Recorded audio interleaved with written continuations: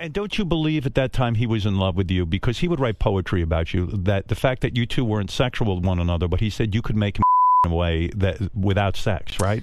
You know, I think it's so funny because now being older, I, I have more of an understanding of, of, of what that was between us because, you know, when you have two young people who have very strong feelings, but there's no physical chemistry between us at all. You were not and it wasn't even just for me. Right. You know, it was him too. I mean, don't, I mean, you know, there was a time when I was like, just kiss me. Let's just uh-huh. see how this goes. And when I tell you it had to be the most Sexless. disgusting oh. kiss for us both.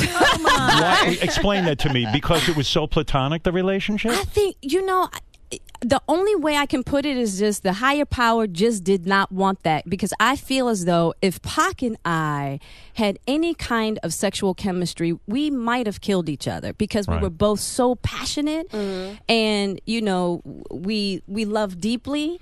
I mean, it was hard enough just with us being friends. We had a very uh, volatile relationship. Um, Did, and did you recognize him as a great talent at that I point? did. What, I did. What was it? His poetry? it was his poetry it was his personality i had never in my life uh, met a person With that kind of Pac. charisma. he had so much charisma Did you- and he didn't have he was he was poor i mean Pac was poor when i met Pac, he owned two pairs of pants and two sweaters and that's it Were you were you shocked when he achieved the degree of fame that he did? absolutely not Really? i Because knew come that on. was going to happen I mean, the, for both of you to become famous out of neighborhood in Baltimore Yeah. is almost impossible. It is. It's crazy. And he used to tell me all the time. He was like, Jada, you're a superstar. He's like, you're a superstar. He And didn't say it about didn't- himself.